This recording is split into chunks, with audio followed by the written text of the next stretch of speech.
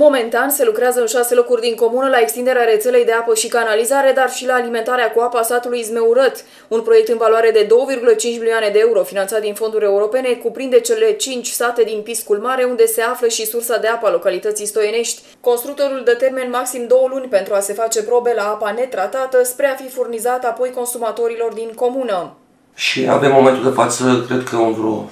șase locuri se lucrează. Avem două echipe de la canalizare pe PNDL 2 la introducerea, adică la extinderea rețelei de canalizare. Avem lucru la alimentarea cu apă în satul Zmeură, tot pe PNDL 2. Și ceea ce este mai important și așteptăm cu toții de foarte mult timp, ce puțin eu personal, prin promisiunea care le-am făcut la cetățeni, proiectul de 2 milioane jumate de euro pe fonduri europene în Piscu Mare, cele 5 state din Piscu Mare, unde vom avea și sursa noastră de apă. Ieri am avut o întâlnire cu proiectantul și cu constructorul legat de cum stăm și cum i-am chemat să, să putem o discuție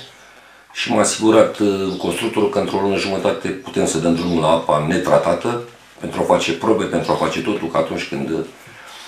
vom finaliza, ceea ce spunem și în termen cam de vreo două luni, chiar dacă săracii oameni au început câte unul să mai, mai cine știe când o fi gata, cine știe când, Iată că în ultima discuție care am avut-o, vă spuneam ieri, cam în două luni de zile estimează constructorul că ar fi,